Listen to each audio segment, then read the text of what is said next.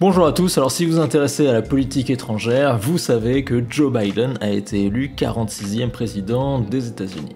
Et lors de la cérémonie d'inauguration euh, devant le Capitole, qui a chanté l'hymne national américain Eh bien c'est Lady Gaga. Et en écoutant cette version de Lady Gaga, je me suis dit qu'il y avait un point sur lequel euh, on pouvait faire une vidéo, un sujet que j'avais déjà euh, traité précédemment, mais ça nous donne l'occasion de le revoir pour bien comprendre le phénomène.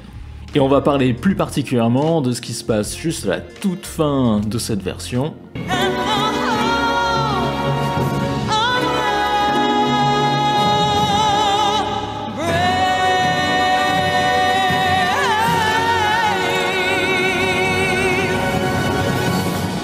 qui va nous donner donc l'occasion de reparler des accords d'emprunt. Bonjour à tous, je m'appelle Maxime et vous êtes bien sur la chaîne Moderne Guitare.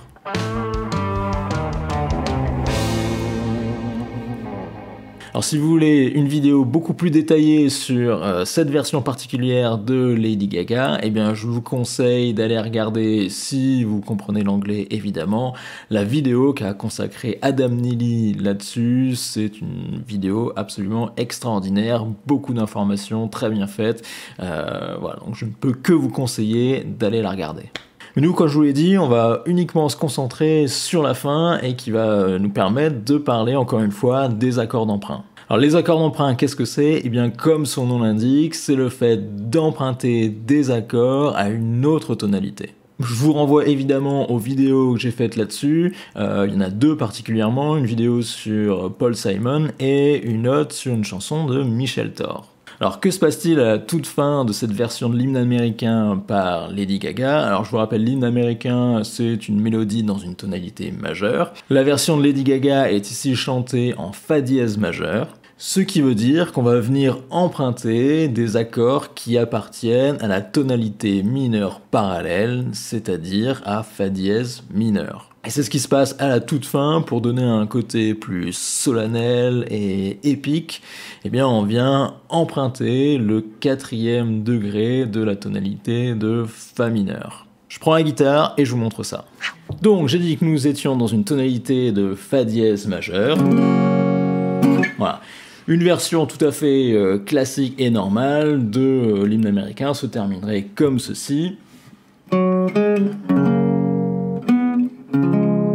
arrive sur le cinquième degré de la tonalité de Fa dièse majeur, et donc on conclurait avec le premier degré. Une cadence tout à fait normale, 5-1. Mais ici, pour ajouter un peu plus de tension, eh bien, on va pas venir directement terminer sur le premier degré, mais on va prendre le quatrième degré, donc, comme j'ai dit, de Fa dièse mineur. Et ça a donné quelque chose dans ce style.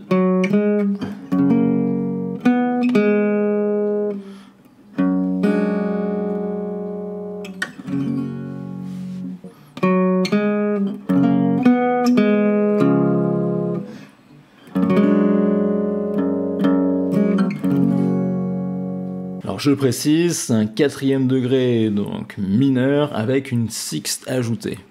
Donc dans la tonalité de Fa dièse, on va avoir un accord de Si mineur avec une sixte majeure ajoutée. Donc la sixte majeure, ça va être ici un Sol dièse. Et qui plus est, cet accord mineur avec sixte ajouté, il va être entendu avec, euh, à la basse, la tonique, sur une pédale de tonique. Donc on va avoir un Fa dièse, l'accord de Si mineur, euh, sixte ajouté,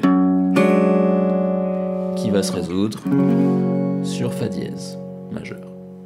Alors c'est un truc d'arrangement que vous pouvez vous-même utiliser dans vos compositions et pour différents styles vraiment. Euh, par exemple dans un standard de jazz ça va évidemment fonctionner. Ce qui me permet de vous renvoyer à la vidéo que j'avais réalisée sur comment finir un standard de jazz. Voilà, c'est tout pour cette vidéo, j'espère que ça vous a plu. Encore une fois, si vous voulez soutenir mon travail, eh bien vous pouvez vous abonner à la chaîne. Vous pouvez également vous rendre sur le site internet moderneguitareonline.com, vous inscrire à la newsletter. Et quant à moi, je vous donne rendez-vous dans une prochaine vidéo.